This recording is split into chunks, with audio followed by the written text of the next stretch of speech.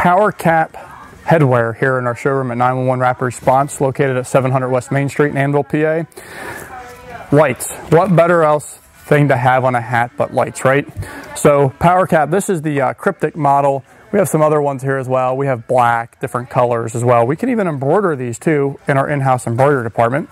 So if you push the button here in the bottom, you have a uh, flood feature, you have a spot feature, and then you can also have both, so you can shine spot and flood. So depending on what you're doing, hiking, that you might be working on vehicles, that type of thing. Even if you're in the police department, you wear black hats, we uh, do a logo up here for you with the police department's logo, doing traffic stops, that type of thing.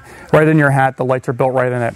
They are not uh, very well known, so it's not like they're obtrusive or anything like that. They are very low key in the hat. You can replace the battery in them as well. It's right here in the brim of the hat. Very comfortable to wear, very nice looking hat here at 911 Rapid Response.